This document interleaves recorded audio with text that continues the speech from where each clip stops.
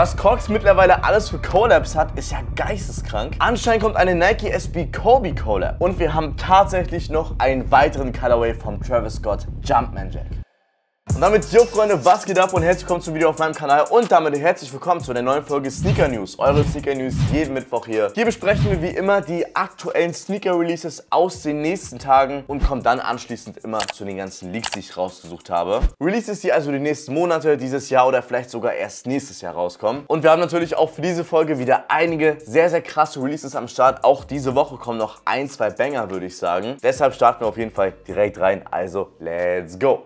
Los geht's morgen am Donnerstag, denn da kommen nämlich so die meisten Releases raus. Fangen wir an mit ein paar New Balance Modellen. Zum einen hier der ML860 in diesem Grey Purple Colorway. Ist eine coole Silhouette, auch der Colorway gefällt mir ganz gut. Retail hier 160 Euro, ist aber eher ein reiner Personal. Der kommt nochmal in so einem grau, ja, babyblauen Colorway raus. Finde ich sogar noch ein bisschen cooler. Ist zum Beispiel für den Frühling und für den Sommer auf jeden Fall ein super Ding. Kommt da bei einigen Retailern raus, wie zum Beispiel jetzt hier bei 43,5, morgen um 0 Uhr. Der New Balance Warped Runner kommt auch noch in zwei Colorways raus. Es ist so eine etwas neuere Silhouette von New Balance, die mir aber eigentlich ganz gut gefällt. Sieht sehr futuristisch aus durch diese ja, fette Sohle. Kommt einmal in diesem grau-beige-schwarzen Colorway raus für Retail 180 Euro. Müsste auf jeden Fall sehr, sehr bequem sein. Das Ganze kommt aber auch nochmal in einem helleren Colorway raus, auch in grau, beige und schwarz gehalten. Wie gesagt, einfach zwei Stufen heller. Auch für Retail 180 Euro. Wenn ich mir einen aussuchen könnte, würde ich aber auf jeden Fall den hier nehmen. Kommt auch um 0 Uhr raus. Von Nike kommt bei ganz, ganz vielen Retailern noch der Nike Air Homara an dem Pacific Moss Colorway raus, was so ein grün-bronzefarbener Schuh ist. Also auch die Sohle ist so wirklich bronzefarben, glänzend. Retail 170 Euro, kommt bei den meisten Retailern eben morgen um 9 Uhr. Genauso wie der Nike Mac Attack zusammen mit Social Status in diesem weiß-schwarzen, ja schon fast cremeweißen Colorway. Ich bin mir jetzt gar nicht sicher, ob das auch einer von denen ist, wo man unter dem weißen Upper noch so ein glänzendes Material hat. Kostet Retail aber nur 140 Euro. Der Mac Attack ist halt irgendwie immer noch nicht so mein Schuh. So die Collab an sich ist aber eigentlich ganz cool und von den Materialien sieht er auf jeden Fall auch clean aus. Dann kommt noch ein Nike Dunk raus in Premium-Materialien, nämlich der Red Stardust. Droppt auch bei den meisten Retailern um 9 Uhr und ist in so einem Korallenrot, Lachsrot gehalten mit beigen Akzenten auf dem Upper, auf den Laces und einem weißen Swoosh. Ist auf jeden Fall ein super cleanes Ding, gerade für Frauen.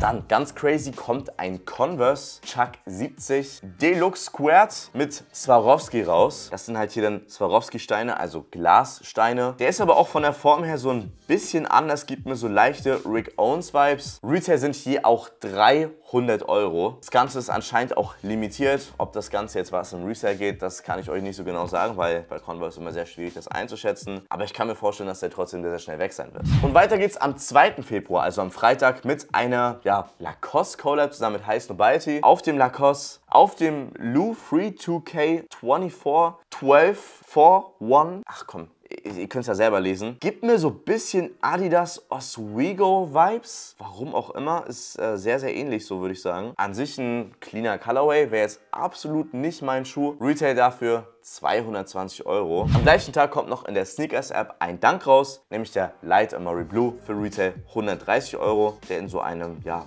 rosa, pastellfarbenen, blauen Design gehalten ist. Somit eines der coolsten Releases ist auf jeden Fall der Nike Dunk Low Brazil oder wie auch hier Pine Green und Varsity Maze genannt wird. Für mich ist das der Brazil. Was bei dem Dunk besonders ist, das ist quasi nochmal ein Re-Release oder ein Restock halt eher von dem Re-Release. Der kam ja 2020, glaube ich, schon mal raus. Ist halt ein Dunk mit einer besseren Lederqualität, mit einem höheren Shape, die mir auf jeden Fall in der Regel besser gefallen. Also wenn man sich noch einen Dunk kaufen will, dann sollte man sich auf jeden Fall einen von diesen eher kaufen. Retail 130 Euro, macht man jetzt nichts mit falsch, ist ein super cleanes Ding für den Sommer, wenn man denn noch Dunks tragen möchte. Und zu meinen Augen der beste Release dieser Woche, der am 3.2. rauskommt, den ich mir eigentlich auch irgendwie einpacken muss, ist der Jordan 3 Craft Ivory. Das Besondere bei dem Schuh ist, ist halt aus der Craft Series, heißt hier hat man eben so den kompletten Schuh so ein bisschen umdesignt. Wir haben viele doppelte Elemente. Ansonsten ist der Schuh in meinen Augen in einem super schönen Farbspektrum gehalten. Hauptsächlich cremeweiß mit beigen Akzenten und grauen Details. Super cleanes Ding. Wie gesagt, werde ich versuchen auf jeden Fall einzupacken. Nächste Woche Dienstag ist auch noch ein wichtiger Release, nämlich der Jordan 1 Low in dem Chinese New Year Colorway. Es kommen noch ein paar andere Chinese New Year Silhouetten, zum Beispiel hier auf diesem Jordan 38 wirklich auf dem Spice Glow oder auf dem Jordan 1 Low Retro. Aber in meinen Augen ist der ja, normale Jordan 1 Low in der OG-Version der relevanteste. Retail 160 Euro wird auch ein bisschen was im Resale gehen. Wie gesagt, aber erst nächste Woche Dienstag, also am 6.2.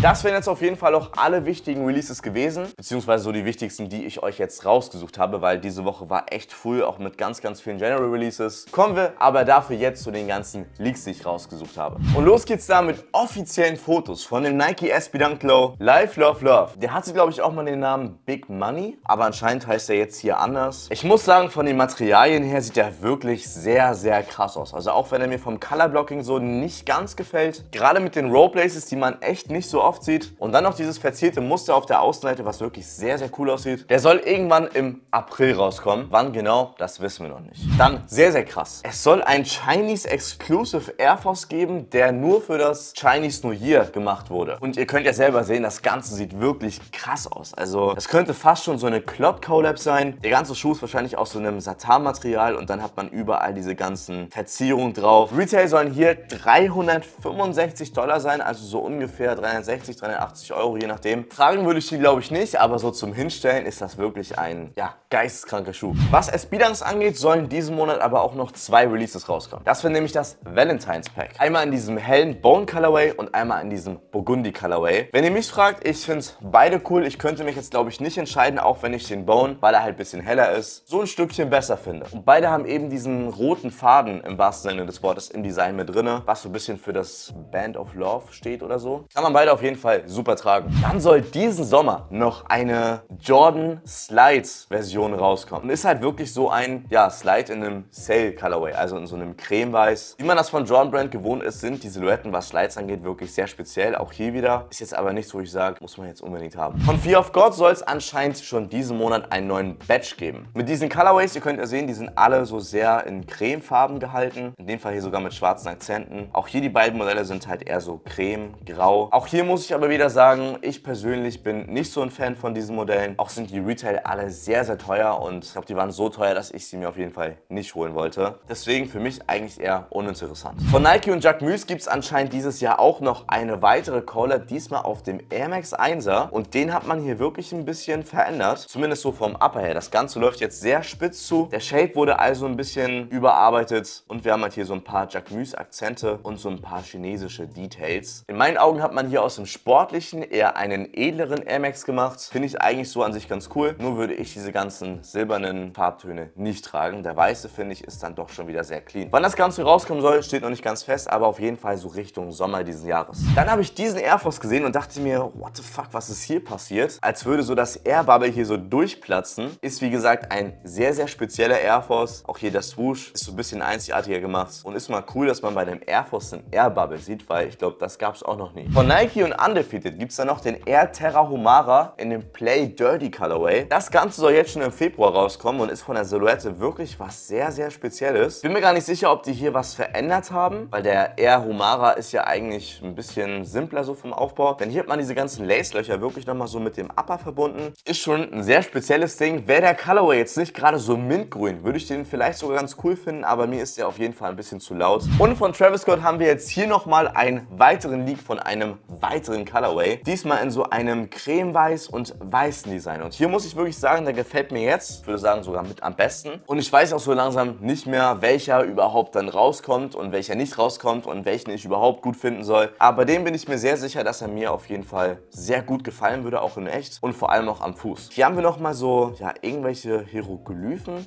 auf der Heel. Was das genau bedeuten soll, das kann ich euch jetzt auch nicht sagen. Ansonsten ist es und bleibt es halt ein sehr cleaner Colorway, den man auf alles tragen kann. Und wie gesagt, mir bis jetzt mit am besten gefällt. Von Action Bronson haben wir auch einen neuen Leak, nämlich auf dem New Balance 1906R. Diesmal in sehr interessanten Materialien, die so leicht transparent sind. Auch der Colorway ist, wie man es von Action Bronson gewohnt ist, sehr, sehr bunt. Muss man halt mögen, aber irgendwie passt es auch ganz gut zusammen. Ein Release-Date haben wir hier noch nicht. Die Vergangenheit hat aber gezeigt, wenn Action Bronson die Sachen selber liegt, angekündigt, dass sie dann schon sehr zeitnah rauskommen soll. Noch ein New Balance wäre der 9060 zusammen mit der DTLR Exclusive. In so einem türkis-orangenen, gelben Design mit so leicht grün verwaschenen Akzenten. Rauskommen soll das Ganze auch jetzt schon am 6. Februar und eben auch nur bei DTLR. Und weiter geht's mit dieser Collab. Ich habe es vorhin ja auch schon im Intro gesagt. Es soll anscheinend dieses Jahr eine Nike SB Kobe Collab rauskommen. Was genau da rauskommen wird, kann ich mir wirklich beim besten Willen nicht vorstellen. Ich habe wirklich gar keine Ahnung. Was ich mir vorstellen kann, ist, dass vielleicht so ein SB dann rauskommen wird, der dann What the Kobe heißt, wo dann ganz viele Kobe Colorways in einem SB Dunk so verbunden sind, was auf jeden Fall sehr, sehr cool wäre. Aber ansonsten habe ich wirklich